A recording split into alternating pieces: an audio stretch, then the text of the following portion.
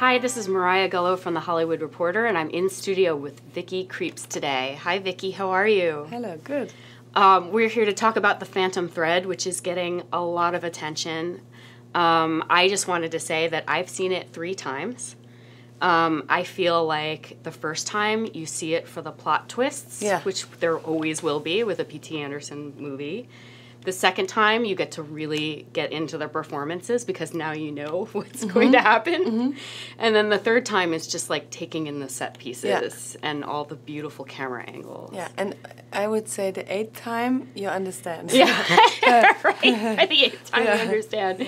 Yeah. I mean, it's so amazing to try to get into the head of your character, Alma. Like, she's so interesting. Like, you go into this movie and you're like, oh, there's another very powerful man and his new muse, mm-hmm. and you just think, oh, I know the way that this is going to go, mm-hmm. and it doesn't. It doesn't. This is a character who really kind of uh, commands a lot of attention in the movie. Yeah, she's even for me, and I know Alma, but even for me, Alma is so. I, I realize now when I talk about her, you know what she actually is in as a as a whole, and mm. she's so out of the box, really, like out of any kind of way that you would think you could define a woman. You know, it's almost Yeah. as if she exists in between being a woman and a not a man, but a not woman. You know, it's like Right. I don't know. She's yeah, she's just free. if if we get to talk to her talk about her character as a whole right just uh, uh, knowing that we Yeah. have both seen the movie and know what happens um, does she is there like a mission statement is there like a, a, a core definition of who she is that you really feel you tapped into like do you, did you have like you know a definition for that No, I think what I just said is closest. That she's she doesn't need a definition to Right. be, and because she doesn't need a definition, she can be so strong. yeah Um, if if I ever understood her as some kind of figure, then it was only um, due to the time she lives in, you know, or the mm-hmm. social upbringing she had. right okay who so she like is her according backstory to- yeah. basically yeah Because it was different back then and than nowadays, you know. As as a mm-hmm. woman, you when you were a woman in the fifties, that meant many things. You you you couldn't just be who you wanted to be in a way. You know, you had mm-hmm. to apply to very many rules and and you know expectations and. So what's interesting is that she does apply to all of this, or like. Not apply. I always look for words. I'm oh yeah she fit she fits into the mold of a 50s woman Yes, and exactly, and even very. Um, um, she's good at it, you know. Mhm. She's she's like a good schoolgirl. Like I mean, she's not questioning right to to be this fifties woman. She, that's what she is. She's a waitress. Mm-hmm. She's learned to be a waitress and to serve other people and to, you know, uh, as a working class woman to have uh, her position. She's not questioning this position, but she doesn't need to because she doesn't need its definition. And so mm-hmm. it makes her free, and and this makes her strong. mm-hmm. Not her background or her money or whatever. Right, right, and a lot of a lot of her backstory was kind of stripped away by editing. Yeah. which kind of gives her uh, even more of a very present character. Yeah. Um, and then also with uh, uh, with P.T. Anderson's filmmaking style, you you didn't meet Daniel Day Lewis until the first day that you filmed with him. Is that correct? Yeah. Well, I met him in London. We we met to read the script. Once. Oh, okay. Yes. Right, but And you that- didn't rehearse. We didn't rehearse at Right. all. Um, I just had to trust Paul. That's what I did. Mm-hmm. I I really don't feel like I did anything. Really, I just trusted Paul. I listened what was happening around me, and I tried to answer as honest as I could in a way. Mm-hmm. Um, I and, and everything what I knew was what I gave Alma as a backstory, you know, where she came from. And Mm. for this, I really um, took it from my grandmother, you know. I tried to understand what it means to, to be a young woman in the war, you know, and then seeing people die around you, close family members, and having to leave your country, go to a new country, be an immigrant, you know. All of this explains of why she's how she is. Mm. How adaptable she is. Yes, and Yeah. and and ready to be submissive in a way. Because in the Mhm. beginning she is submissive, as you say. You know, you watch the movie and you think, oh, another one, you know, like this, like a poor poor girl, and she's going to be lost, or what what is he going to do to her? And um, but ha- keeps her own strength like a secret almost. You know? Mm, yeah, Yeah. yeah. And you said before that when you were creating her character or, or trying to get into her, that you filled her with emptiness. Yeah. Um, what what did that entail? Like what? Um, I I did it intuitively on one hand.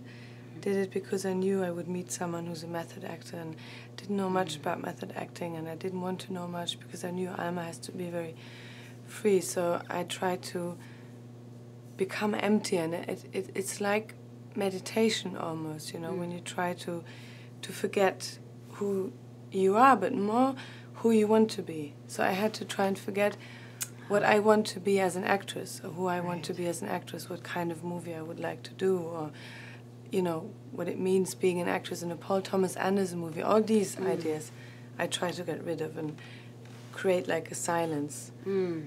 Did Yeah. that work more on certain days than others? Did you have your good days and your bad days? Because it feels like the idea of kind of emptying out all of your expectations Well, the um, emptying could be out- tough from day to day. Yes, it, the emptying out was for the beginning, really. Yeah. And then as soon as Alma enters the world, you know, it was filling up and Oh. you know, and then it was very soon it was very full.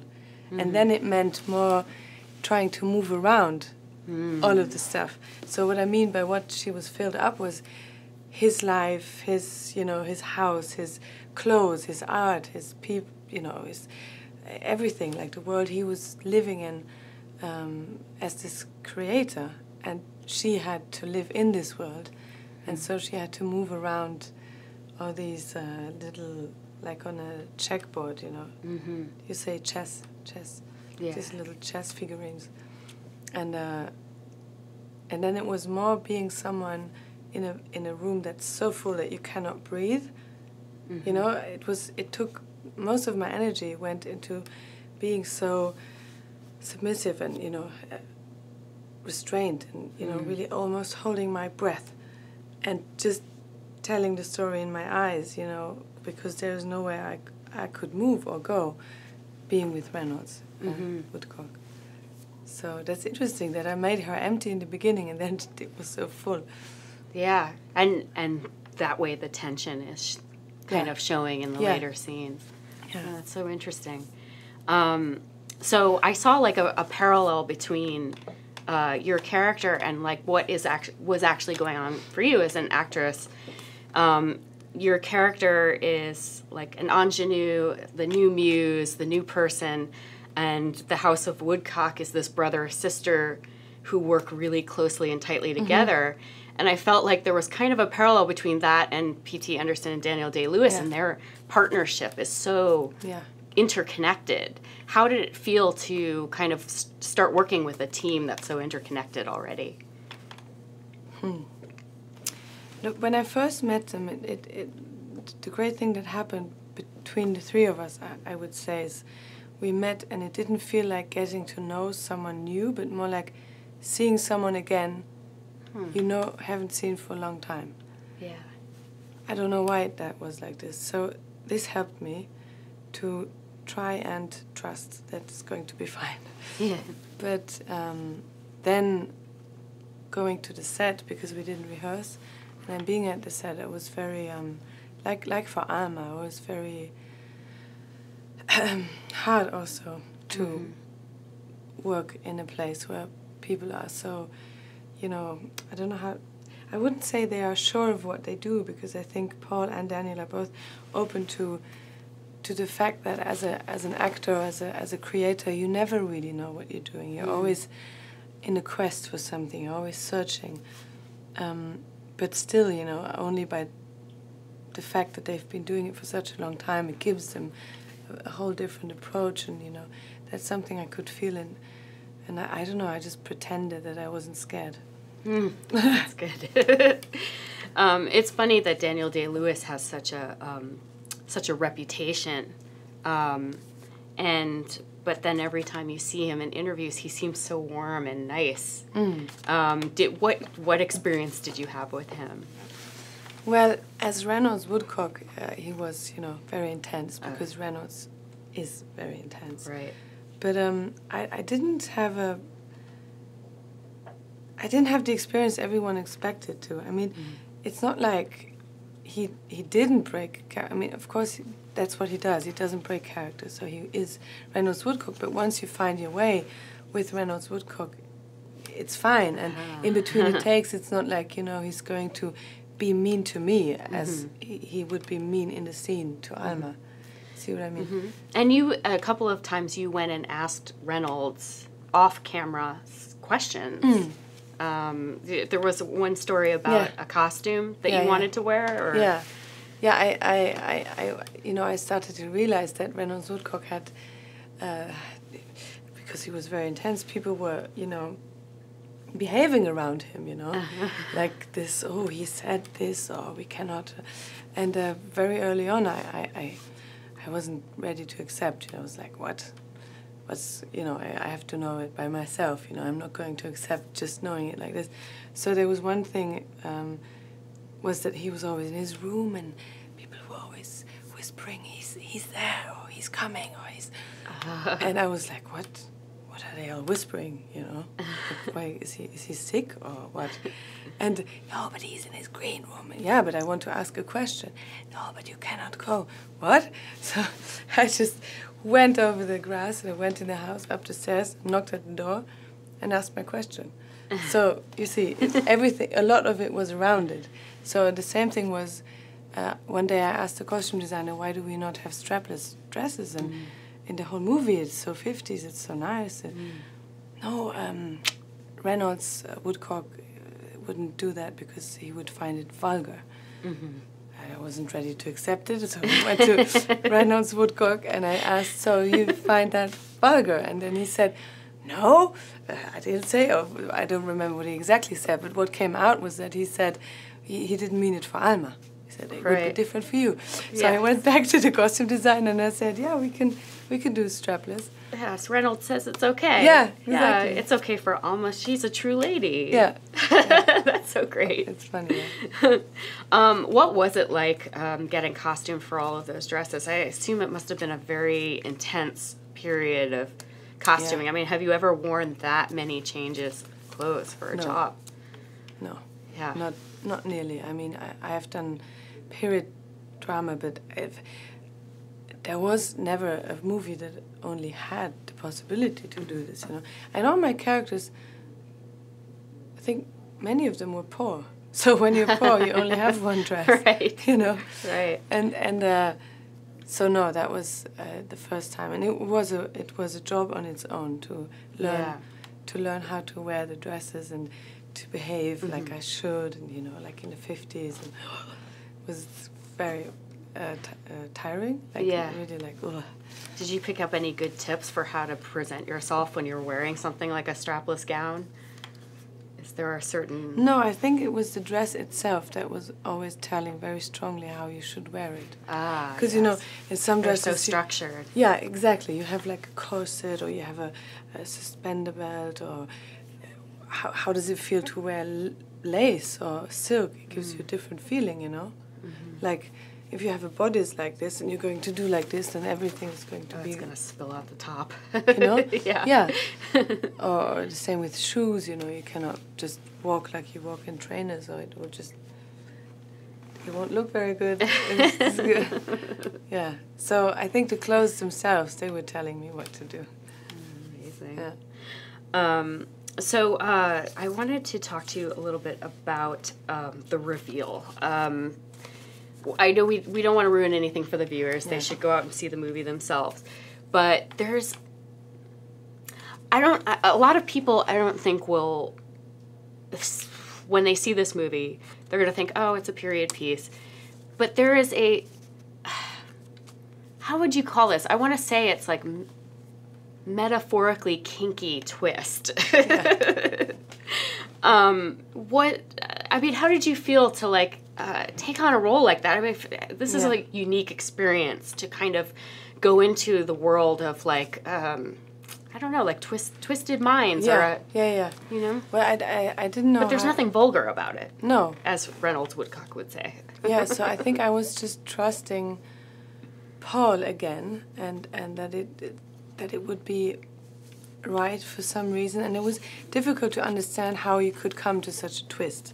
Why would someone come up with this? Why would someone go this way and actually do this? You know, I really had to understand because I, I, I would never do it, you know, myself. And then I just accepted that I wouldn't understand. And then I just accepted that I don't have to understand. Okay. And I, I just went with my intuition trying to feel why someone would do this. And I found that, you know, if you love someone, I think you do the weirdest things Yeah, alone or together, you know. and I think that's only what it's portraying. It's just Yeah. saying, you know, how weird it can become when you're in love, but also how beautiful it can become, but also mm. how difficult it can be. And you know, there's no rule. There's no, there's nothing that doesn't happen at home when people are alone. Yeah, you know. that's true. That's true. And it, it does allow people to kind of draw their own conclusions. Yeah, and I think this is just a playful way of telling this. it's very lovely. Um, so I have four more questions for you before I let you go. Um, this is our first, best, last, worst questions. Um, so the first job uh, that made you think, I've made it. Now I've finally made it. And it doesn't necessarily have to be the job where you actually made it. It hasn't happened yet. I, I did- Always looking forward. This is the first movie I did where people tell me that this is. Mm. How does it feel that now you are? Well, it doesn't feel anything except that you keep asking me. Yeah, so I, I haven't had this. No. You haven't had the moment. Um, best costume you've had to wear for a job. Is there a particular costume or maybe a dress from this movie that really? In this movie, there were many beautiful dresses and I don't know what the best costume I ever wore. Maybe I think the the clothes Alma's wearing when she goes on the mountain. The mountaineer clothes. I think that was the best costume. Nice. Um, the last time you made a mistake and how did you fix it? Oh God. Probably two minutes ago, sitting like this on the on the chair. How did I fix it? Like this. Very good. Uh, worst audition experience. Worst audition experience. Um, oh, ah, that, oh yeah. Once I went to an audition. I will not tell you what it was, but I honestly realized while I was there that I didn't read the script. Oh no. And I was sitting there and I realized, oh, fuck, I didn't read the script. But I think it wasn't meant to be, so maybe that's why. Definitely. Vicky Krieps, thank you so much. That was Um, a good way of saying my name. Oh, Wow, really? Krieps, yeah. Ah. Krieps, Krieps. Thank you so much. Uh, well, the movie is Phantom Thread, and uh, thank you so much for joining us, and we will see you during award season.